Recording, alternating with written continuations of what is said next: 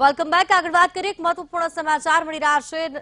શિવાનંદ ઝા દ્વારા મોટું નિવેદન આપવામાં આવ્યું છે.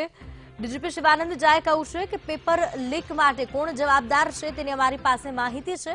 ખૂબ જ ઝડપથી તપાસ પૂરી કરીશું અને યોગ્ય કાર્યવાહી કરીશું. તો એટીએસ જિલ્લા એસઓજીની ટીમ સાથે રાખવામાં આવી છે. અમદાવાદ ક્રાઇમ બ્રાન્ચની ટીમને પણ સાથે રાખવામાં આવી છે. તપાસ સોંપતા ગુનેગાર સુધી પહોંચવાનો દાવો શિવાનંદ ઝા દ્વારા કરવામાં આવ્યો છે.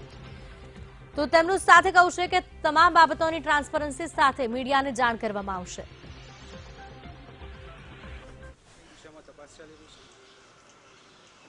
આજે સવારે પરીક્ષા પહેલા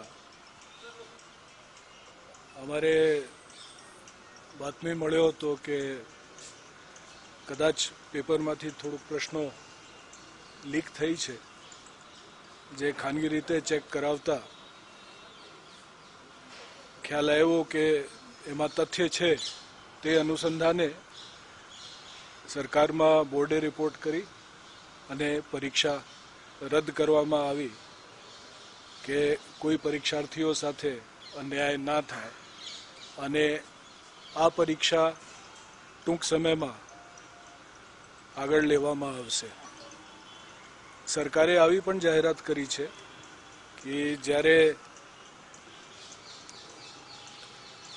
આગામી દિવસોમાં જ્યારે આ પરીક્ષા લેવાશે, ત્યારે એસટીના આપણે કોઈ એક સિસ્ટમ ઈજાદ કરીશું, જેનાથી જે પરીક્ષાર્થીઓ છે એને એસટીને ફ્રી સેવા મળે. આના પછી